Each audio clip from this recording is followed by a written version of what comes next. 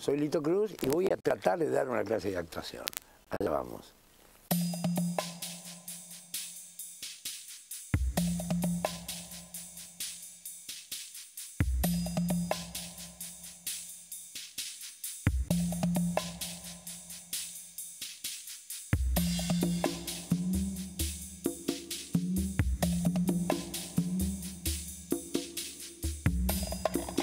Buenas tardes.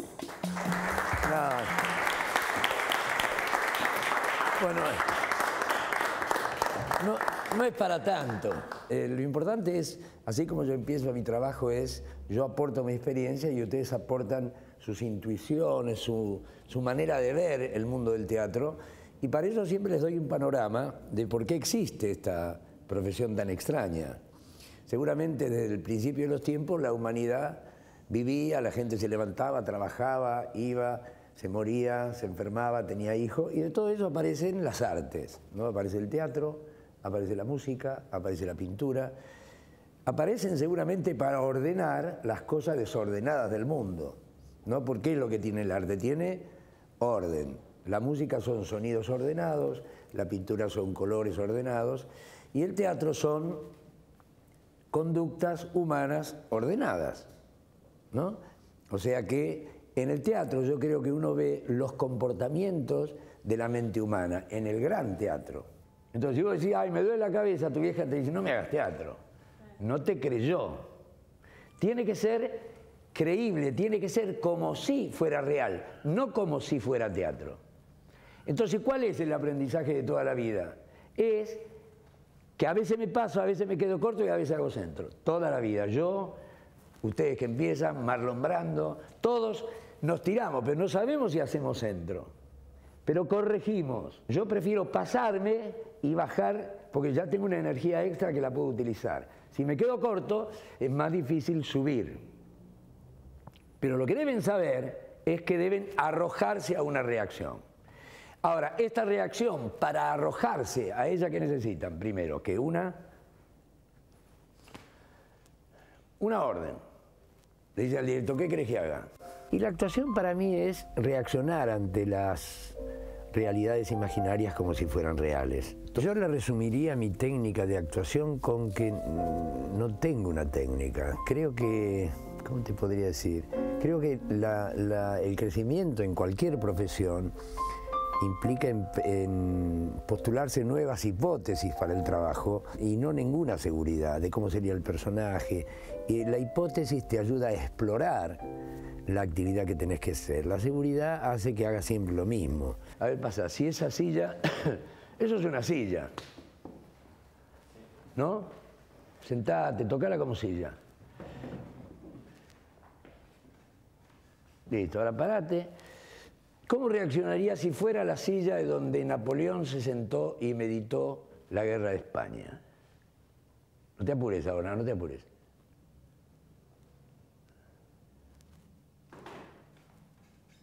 Corten, ok, se equivocó, ¿no? ¿Por qué? ¿Qué faltó? Él, él se dio la orden, estaba bien, porque el cuerpo empezó a cambiar. ¿A quién le doy la orden? Esto está caliente, ¿a quién le doy la hora? Al dedito, digo, ay, oh, me agarró electricidad, ¿entienden? Si no uno dice, ay, está caliente, ya sonaste. ¿Por qué? Porque cuando se le das al cuerpo, los sentidos se nubilan y estás tenso. Por eso De Niro decía que actuar es soltar los cinco sentidos a la luz. Y el cuerpo va detrás siempre. Entonces la práctica de la reacción es a mis sentidos. A ver, probá otra vez con el sentido, ¿no? Dale. Pero no, quédate quieto. Cuando yo te doy la orden, ¿eh? párate. Cuando yo te doy la orden, mirás la silla como si fuera la de Napoleón. No lo dudes, aunque abra los ojos así, es mejor a que si haces todo eso, ¿entendés? Porque tus ojos empiezan a entender. ¿No? Acción. Abrilos. Quieto. A ver si la toco, no me animo. Despacito. No puedes abrir los ojos. Tócala despacito, a ver. Guarda que te ve el del museo te mata. bueno, a ver, ya que ya hice una situación. ¿Entienden? Con nada, simplemente con que lo hizo. Entonces no hay malos actores, sino que la complicación del que me miran es más importante que lo, lo que tengo que hacer, que la silla de Napoleón. Entonces, ¿cómo se cura eso? Con la práctica. Lito para mí es un referente primero porque lo avala su, trayectoria y sus resultados. ¿no? A mí siempre me interesan yo, si bien creo que el, talento para transmitir no siempre es lo mismo que el talento para ejecutar, a mí los docentes que, cuya trayectoria se avala solamente en la docencia siempre me generan cierta duda. En cambio, docentes del estilo de Lito, que además de ser legitimado como docente, ha dado muestras claras en su propio instrumento que, que lo que él predica funciona y trae resultados que por lo menos para mí son atractivos e interesantes, lo convierte en alguien que puede ser un referente, porque siento que es alguien eh, en el que confluyen el talento para ejecutar y el talento para transmitirlo. Es una actividad creativa el tema de la enseñanza, por eso lo vuelco más a la dirección. Yo los dirijo, ustedes son actores y déjense dirigir.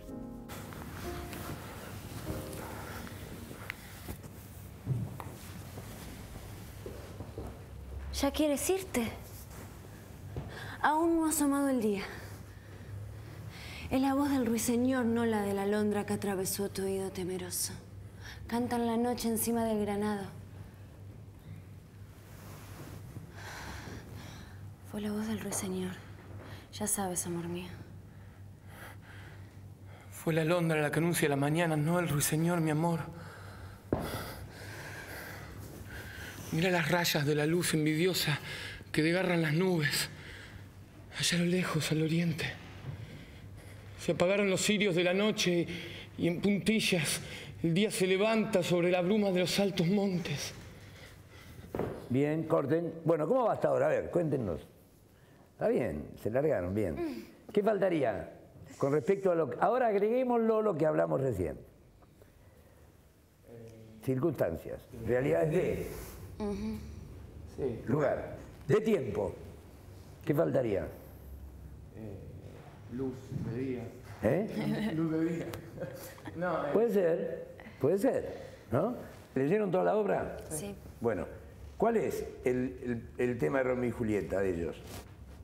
Ellos tienen dos enemigos, que ¿cuáles son? Capuleto, Montesco, digo. Pero el del amor es, el enemigo es... ¿El enemigo que De ellos es el día sí, y el, ruido. Claro, y el ruido. Sí, si los ven, los matan. Si los oyen, los matan. O sea que todo es en secreto. El balcón, esto, el casamiento, la tumba, todo es, el enemigo es el día y el ruido. ¿Dónde están? En la habitación de Julieta. Están los viejos, por ahí, o allá, o allá, ¿no? ¿Y allá qué hay? Y están al acecho para... Guardias, ¿no? Entonces, ¿qué hicieron toda la noche? El amor. Pero. Desenfrenadamente. Desenfrenadamente. Pero se oyó el sonido de. De la alondra. De la alondra. Entonces, ¿cómo estaría? Él ya se está por ir. No se durmió. Creo que están los dos mirando la ventana, muy abrazaditos, esperando al enemigo que es el día. Entonces arrodillen, siéntese los dos muy juntitos, abrazados. ¿Eh? Vamos a imaginar que la ventana está acá. Acá adelante. ¿Eh? Abrácense lo más que puedan hasta que reaccionaran como si no me quiero ir. Cuando él hace un pequeño movimiento, ya hiciste tu texto y lo apretás. Separate un poquito de ella, Renzo, y ella te agarra. Rápido el texto. Ya quieres irte. Aún no ha asomado el día. Es la voz del ruiseñor, no la de la luna. Dice que sí, no asomó el día, che. Es el ruiseñor. No, es la Londra, es el ruiseñor. ¿Qué te pasa? Es la Londra. Dale, dale. Dale. Lo normal, decía. Ya, ya te querés ¿Ya quieres irte? No, ya, no, ya te, ya te querés ir. No lo cortes, quédate así. ¿Ya quieres irte? No vení, quédate. No hagas nada con el cuerpo, sino rápido con el texto. Y, rápido, mirá que viene el día, ¿eh? Ya quieres irte, hemos asomado el día. Es la voz de Ruiseñor, no la de la alondra que atravesó tu oído temeroso. Canta en la noche encima del granado. Quédate. Fue el ruiseñor, ya sabes, amor mío. Y ahí lo agarras. Y te zaparon un no, ¿qué te pasa? ¿Estás loca? fue la Londra. No, no, no lo actúes, fue la Londra. Ah. Fue la Londra. Fue la Londra la que anuncia la mañana, no el ruiseñor, mi amor. Mirá las rayas de la luz envidiosa que Mirá, desgarran ¿qué- las nubes. ¿Qué mira las rayas que, que desgarran las nubes? ¿Qué te pasa? Dale. Mira, Mirá, mirá las rayas de la luz que, de- que desgarran las nubes. no lo actúes. Ah, bien. Viste que estás actuando, ¿no? Sí. Poné voz de actor, ¿viste? Como los textos de Serpie son bastante solemnes, bastante poéticos, uno tiende a hacerlo de ese tipo de forma, más poéticamente. Eh, entonces él lo que trato eh, fue de naturalizarlo y decirle no actúes. En Renzo yo vi también que tenía tiene un gran temperamento, por eso confiaba más en el temperamento que en la observación de lo que estaba pasando en ella y de lo que estaba pasando con el día que estaba viniendo. Y poco a poco también fue entendiendo el tema de, de qué se tiene que ocupar el actor. Y se tiene que ocupar de mirarla a ella, de escucharla a ella y de mirar que le está viniendo el día y el día trae peligro de muerte en esa escena de Romeo y Julieta. Entonces todo mi trabajo fue de qué se tienen que ocupar Laura y Renzo haciendo Romeo y Julieta. Y creo que eso lo entendieron. Empezaron a ocuparse del otro, empezaron a escuchar al otro la información que le daba, les producía una reacción de sorpresa y el día empieza a ser el protagonista de la situación porque es el enemigo de ellos dos, es el peligro de la muerte de él, el castigo de ella y el peligro de la separación. Todo toda la escena del balcón es igual, es decir, no, soy Romeo, Romeo. ¿Me entienden? Y están recalientes, ¿viste? Están al palo los dos y dicen, no. ay. Y por eso hablan así, porque no se pueden tocar. Hay que ver qué haces en dos minutos. Decime cuándo. Agárrense. Agárrense, ¿eh? Fuerte. Ah, ¿va ¿de principio? Decime- ¿Otra vuelta? Todo, todo, todo, desde el comienzo, ¿eh? Luz. Ca- Pueden reírse, ¿eh? Cámara. Diviértanse, a ver, en- con la muerte. ¡Acción! Ya quieres irte, aún no has amado el día. Es la voz del ruiseñor, no la de la alondra que atravesó tu oído temeroso. Fue el ruiseñor, ya sabes, amor mío.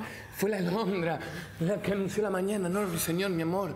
Mirá los rayos de la luz envidiosa que desgarran las nubes, allá a lo lejos, al oriente. Si parto vivo, si me 50 quedo muero. Aquella luz lejana no es la luz del día, es el sol que se desprendió de un meteoro, que te acompañe en el camino manto y que con él aclare tu camino. Quédate, pues aún te quédate. Eh, Que me aprisionen y me den la muerte, si así tú lo quieres. Un minuto. Yo diré que aquella lejanía gris Poné las botas. no son los ojos nuevos de Aurora, Tirate en la cama, no le sino des la frente ahí. pálida de Cintia y que no son los No, ojos tirate, no le des bola, que te de viste. la Aurora. Ay, los que pueblan la bóveda del cielo. Yo no quiero partir, quiero quedarme. Ay, bienvenida a la muerte si tú lo quieres. Es de día, es de día, andate pronto. Es, Cagate de risa, vos, es la. No, que de- canta no, y desafina con sus feos desacordes y asperezas. Si su canto reúne dulzura, no es dulce si a nosotros nos empujalo, separa. agarralo, tiralo, agarralo, eh. Suelen decir que el sapo el la saco, alondra dale. intercambiaron sus... Se prestaron los ojos. Ya, vamos. unos a otros. Debieron también trocar sus voces porque ese trino rompe nuestro abrazo echándote de aquí con su alborada. Más y más. Adiós. Y ahora, Más y más, total, quietos. más y más, No, no, no hablen más. Hay que irse. Mírense, no sé, sin moverse. Ya, texto. Está aclarando más y más el día, más y más oscurecen No- nuestras penas. Dale. Adiós. Ventana entonces. A la Deja ventana. entrar el día. Decile, ventana. Ventana. Ventana, entonces. Ventana entonces. Deja entrar el día y salga la vida. Besito. Un beso más y bajo. Julieta. Haces de irte, mi señor, mi amor, mi amigo. Fíjate que no haya soldados, Romeo. Esperaré noticias tuyas durante todo el día de la hora, porque en cada minuto hay muchos días. A ver el beso más largo que puedas darle. Ándaselo, dale.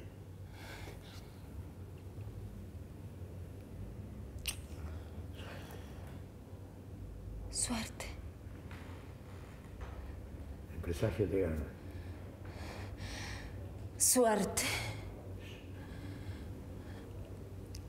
Te dicen inconstante. Si esa es tu condición, ¿Qué haré con él? Con su fidelidad. Suerte. Sé caprichosa. Y que te fatigue su presencia si me lo devuelves. Muy bien, chicos, ¿no? A ver, ¿qué pasó? Entonces ya creamos una hipótesis de trabajo en el primer ensayo, ¿no? Donde nos basamos en cómo sería la realidad, no cómo es el teatro. Para trabajar siempre es bueno no estar seguro, sino tener hipótesis de, bueno, cómo encaro tal escena. ¿No? Por ejemplo, de Romeo y Julieta, no sabemos cómo es, pero todo el tema es indagar a ver qué me da la escena para que yo pueda imaginar la manera de contarla. En un principio me sentía como, bueno, como decía Lito, ¿no? Como no apoyada en las circunstancias, sino en, la lógica del texto, en lo que se dice y y eso queda como un poco medio sobreactuado y uno se pone medio incómodo, eh, pero él supo como ir tirándonos puntas en acción para que nosotros podamos, como dijo él, eh, destrabar y que la imaginación empiece a trabajar eh, en escena. Laura, que hacía Julieta, ¿no? me di cuenta que tenía una gran expresividad y una gran facilidad para aceptar las indicaciones. Creo que inmediatamente entendió eh, una parte de lo que yo le estaba pidiendo y en ella encontré una gran facilidad para modificar sus esquemas anteriores y aceptar lo nuevo que le venía desde un director. Decía el texto. El perro de la pensión tenía algo personal conmigo. Lo comprobé en, en el transcurso de la primera semana porque me atacaba siempre cuando entraba, pero no cuando me iba. ¿No es raro eso? Un día en, mi habitación después de un ataque tomé una decisión. Iba a probar ser amable con el perro. Cuando llegué a mi habitación me tiré en la cama y me puse a pensar en el perro y me di cuenta que estaba dolido y frustrado. Porque eran seis estupendas hamburguesas que bien me podría haber comido yo, a cambio de las cuales solo recibí un brutal ataque. Estaba dolido. Pero tomé la decisión de seguir intentándolo porque tuve en cuenta que era un perro y que tal vez estaba acostumbrado al ataque y que esta vez no lo había hecho con mala intención. Pero bueno, lamentablemente las otras cinco veces que lo intenté durante esa semana pasó lo mismo. Avance lento, avance rápido, oler, mirarme, esperar mi aprobación, comérsela, sentarse, sonreírme y atacarme. Por eso decidí matarlo. El día que, que decidí matarlo, Fui hasta el puesto de hamburguesas y le pedí la carne sola. No, no quería el pan, no quería nada. Quería la carne sola. Y la verdad es que en el momento me dio un poco de miedo que, el vendedor me dijese que, él no me iba a vender carne sola o que si yo era un negro mugriento que las comía con la mano. ¿Por qué lo hice? Porque uno va por la calle y la gente pasa y pasa y pasa. Y hay cosas. En la calle hay una moneda en la calle. Pero nadie se, detiene a mirar a quién quiso comprar qué cosa con esa moneda. ¿Por qué? Porque hay ruidos. Entonces hay ruidos en la calle. Hay una moneda, con el ruido, con la moneda, con algo hay que empezar, con el perro. ¿Por qué no con el perro? El texto que elegí es un texto que nunca pude, pude trabajar a, fondo en, otros espacios porque no se me dio la oportunidad. Y desde el momento en que lo leí, eh, sentí que yo entendía a ese personaje, entendía lo que decía, ¿sí? Eso era lo que yo sentía. Entonces lo elegí porque es un texto que habla de algo que a mí me interesa exponer, comentar, poner en el tapete. Es plantea una pregunta que a mí me interesa plantear. Entonces, eh, en tanto sucede eso, me da placer. O sea que en última instancia lo elegí por eso. ¿Por qué, ¿Por qué habla? ¿Qué es lo esencial del texto? Yo creo que tiene que ver con su necesidad de, comunicarse, de contar lo único que, importante que le pasó. Lo del perro no es importante, sino para ejemplificar el tema de la gente. Sí. Eso te produce una reacción. ¿eh? Eh, resignado es una. ¿Qué otra sería? Violentado. Eh. Bueno, ponete violento, a ver cómo le sería. Todo el tema es cómo él reacciona como si estuviera quieto. Sí. Reacciona como si estuviera violento por cómo es la gente. Sí, eh, porque, a ver... Cuando te diga acción. ¿Cómo? Cuando te diga acción. Bueno. Quédate neutro, ¿eh? No la estudies. Bien. Luz, cámara, acción. La gente se vincula como el orto. Está Ese es el problema. Que la- no está bien, no, no está bien. Justamente lo que te estoy diciendo es que no está bien. Porque es un. A ver, con algo se tiene que relacionar. Si no se puede relacionar entre ellos, que se relacionen con un perro, con una cama, con un cuchillo, con un tenedor o con el grito furioso. Porque las mujeres alegres no son tan alegres tie- con prostitutas que se relacionen Texto. con algo. ¿Por qué no con el perro? ¿Por Texto. qué no Texto. con el perro? ¿Y sabes qué? Texto.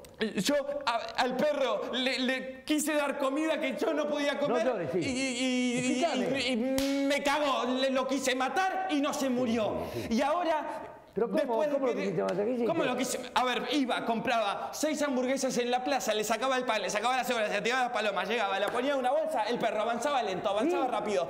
Olía, bueno, miraba, se sentaba, me sonreía y después me atacaba. Sí, sí. Y- y lo probé muchas veces y todas las veces me volví a atacar. Entonces decidí matarlo. Y cuando voy y decido matarlo, compro la hamburguesa, le digo que no me dé el pan, compro el veneno, hago una Bien, albóndiga. otra vez. Ok, bien, mejor. Ahora, que te atacaba no es importante. Me atacaba, me atacaba, me hacía de todo, pero después me maté y no murió. Si no, parece que el perro te atacara. Pero vos tenés que me llevarme a lo que te pasó con el perro. Pero ¿te entendés que el perro me atacaba? Me atacaba, sí, me sí, sí, sí, sí, sí, sí, bueno, entonces, a ver, eh, cuestión que desaparece un día después de cuando yo le doy el veneno y viene la dueña y me dice que rece por él. ¡Que rece por él! Y por mí quien reza, le quería decir. Reíte ahora. Bueno, Dormí quien reza, y viejo. por mí quien reza, boludo. Pero te das cuenta, y por mí quien reza. Pero bueno, dije, vamos a simplificar las cosas. Sí, señora, voy a rezar por su perro.